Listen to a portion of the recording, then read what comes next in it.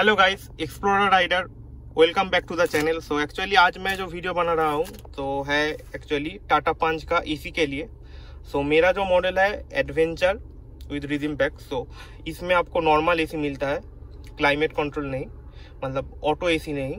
But uh, एक अच्छा features Tata पंच का है ये कि मतलब ये जो एसी है और आपका क्लाइमेट कंट्रोल ऑटो एसी जो है वो सेम है। सिर्फ़ मतलब डिफरेंस यही है इधर आपका ऑटो लिखा रहेगा। सो so, यही बात है। एंड uh, जो ऑटो क्लाइमेट कंट्रोल है उसमें जो डिस्प्ले है वो इधर ही मिलेगा। इस साइड पे एक uh, ये ऊपर में एक टेम्परेचर का कोई शो uh, करेगा। सो so, यही बात है। दूसरे गाड़ी में क्या होता है? एक एसी का मतलब नॉर्मल सेटअप एक होता है तीन बटन वाला एंड जो ऑटो एसी का होता है वो भी एक मतलब छोटा सा मतलब अलग सा ये स्विच वाला ऐसा होता है तो कोई देख के पहचान जाएगा। बट टाटा पंच में सेम दिया है ऑटो एसी में भी सेम सेटअप एसी में भी सेम सेटअप सिर्फ़ उसमें डिस्प्ले उधर मिलेगा एंड ये इसमें से मतलब ये कंट्रोल कर सकते हो आप टेम्परेचर का। सो so, यही बात है। इधर आप देखिए ये है मतलब फ़ैन का स्पीड के लिए फोर पे है थ्री टू वन वन सबसे लोएस्ट है। सो so, ये है। ये है इनसाइड एयर फ्लो के लिए। मतलब बाहर से एयर नहीं लेगा। इनसाइड में जो एयर है उससे ही मतलब लेके ये ठंडा करेगा। सो so, ये है इनसाइड एयर के लिए। ये डायरेक्ट एसी ऑफ़ हो जाएगा यहाँ से। देखिए एसी ऑफ़ हो गया। और मतलब आपको एसी ऑन करके मतलब सिर्फ़ ब्लोअर ऑन करना है तो ये दबा दीजिए। एसी ऑफ़ हो गया, लेकिन ब्लोअर ऑन है अभी। देखिए। सो एंड इधर है मतलब एयर फ्लो के लिए, ये मतलब इससे, ये यहाँ से हवा निकलेगा। और ये है मतलब लो साइड से एंड इधर से मतलब 50 परसेंट ऊपर से 50 परसेंट नीचे से हवा निकलेगा। इधर है जो इसमें से मतलब पूरा ही पाव में हवा लगेगा मतलब पूरा ही नीचे से हवा मिलेगा, पूरा हंड्रेड परसेंट ही। और ये जो है, ये डिफॉगर में से 50 परसेंट और ये पाव में से 50 परसेंट निकलेगा हवा।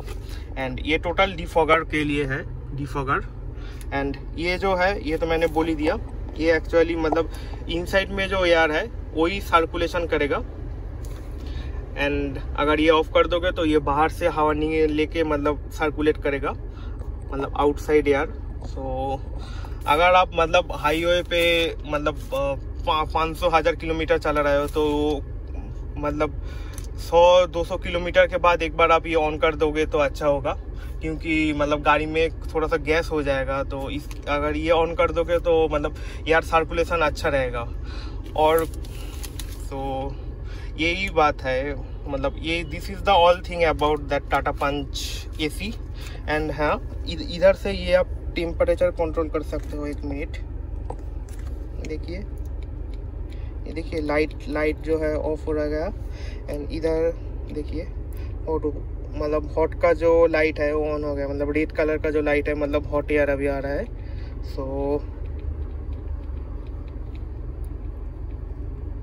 इस मतलब इस इस तरह से आप टेम्परेचर कंट्रोल कर सकते हो। ऑटो एसी में भी सेम है। मतलब ऑटो एसी में भी ऐसे करोगे तो यहाँ पर आपको टेम्परेचर दिखाएगा। और इधर आपको यही देख के समझ जाना होगा जे एसी में मतलब कितना है, कितना टेम्परेचर करना है, क्या नहीं है। तो मैं तो हमेशा फुल ही रखता हूँ। अगर कभी मतलब ज़्यादा ठंडा हो जाएगा तो एसी बंद करके सिर्फ़ ब्लोअर ऑन रखेगा तो बस, वो में भी काम चल जाएगा। So this is all about इस टाटा पंच एसी और you can say climate control climate control में भी सेम सेटअप है।